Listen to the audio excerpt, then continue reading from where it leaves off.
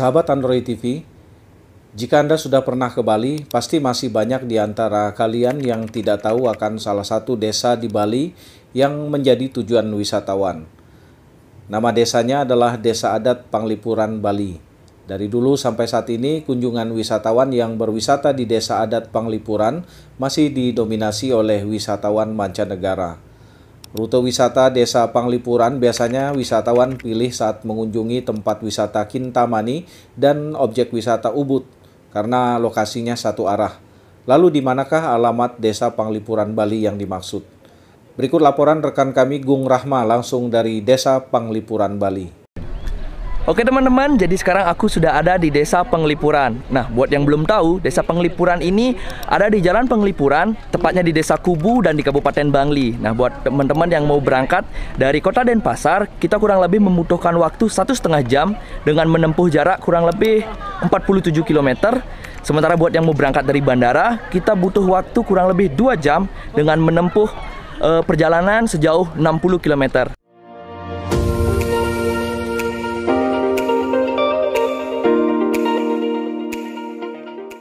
Lokasi desa Panglipuran Bangli berada di ketinggian sekitar 600 atau 700 meter dari permukaan laut.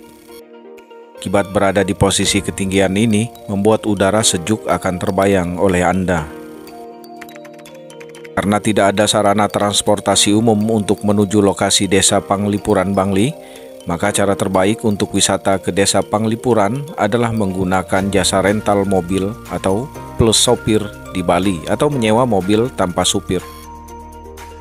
Bagi yang belum pernah ke tempat wisata desa Panglipuran Bangli, sebaiknya Anda menggunakan jasa rental mobil plus sopir di Bali untuk menghindari tersesat di jalan.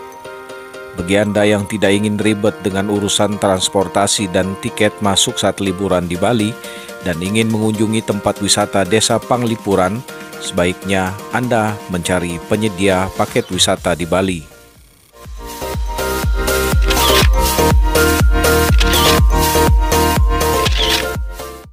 Oke teman-teman, jadi sekarang kita ada sudah ada di depan salah satu rumah warga. Sekarang kita coba masuk, kita coba uh, kuliner apa saja dan ada hal apa saja di dalam yang menarik. Oke, let's go. Tercatat rata-rata 100 orang wisatawan yang berkunjung ke Desa Panglipuran. Untuk dapat memasuki Desa Panglipuran, Anda akan dikenakan biaya tiket masuk. Oke teman-teman, jadi di sini di Desa Panglipuran ini para pengrajin daerah setempat ini menawarkan berbagai macam souvenir souvenir-souvenir khususnya dari berbahan bambu seperti ini. Jadi buat teman-teman yang mungkin mau beli sekedar buah tangan atau oleh-oleh bisa langsung memberi di uh, penduduk lokal seperti itu. Harga tiket masuk Desa Panglipuran dewasa untuk warga negara Indonesia Rp15.000 dan uang warga negara asing Rp30.000. Untuk anak-anak Rp10.000 untuk warga negara Indonesia dan untuk asing Rp25.000.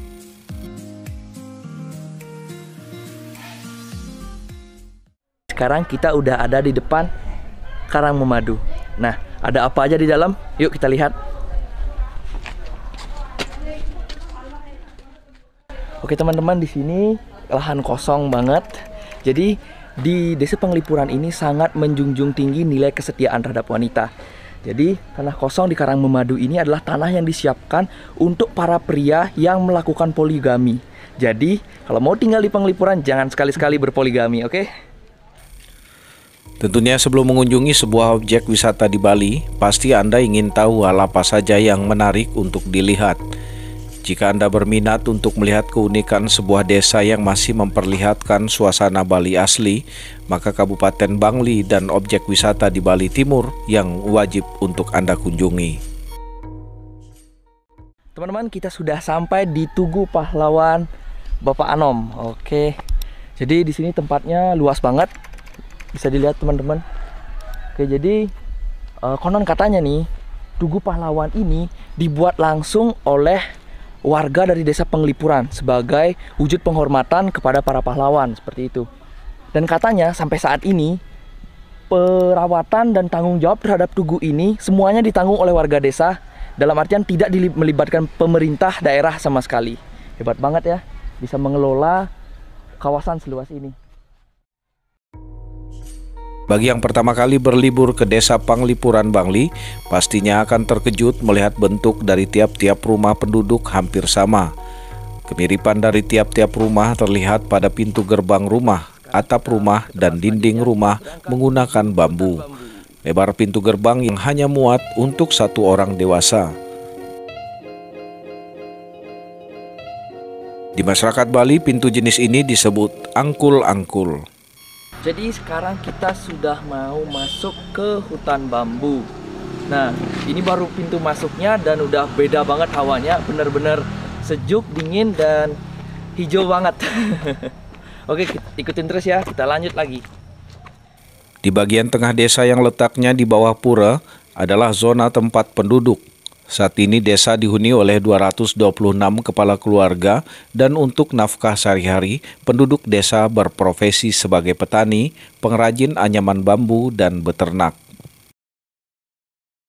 Luas dari area desa sekitar 112 hektar dan tidak semua lahan desa digunakan sebagai rumah penduduk.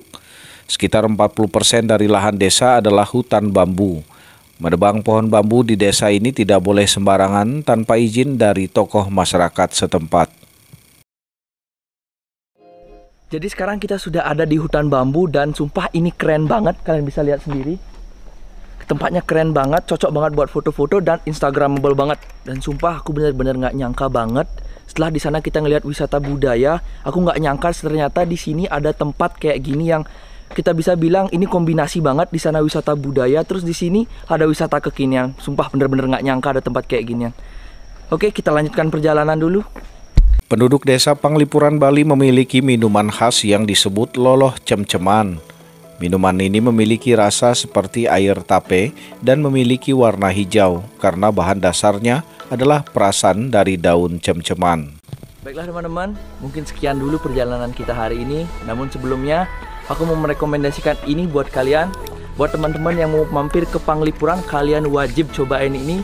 Minimal kalian nyicip-nyicip di sini. Ini namanya loloh cem-cem karena rasanya sensasional banget. Oke buat teman-teman yang belum pernah main ke Panglipuran ayo main ke Panglipuran. Yang sudah pernah ayo kita main lagi. Karena terus terang perjalananku di sini sangat-sangat berkesan. Apalagi ketika aku melihat bagaimana komitmen warga Panglipuran untuk menjaga budaya dan warisan leluhur mereka dan bagaimana mereka berkomitmen menjaga kebersihannya. Oke, mungkin sekian dulu aku pamit. Jaga loyalitas, jaga integritas dan stay jaga Bali.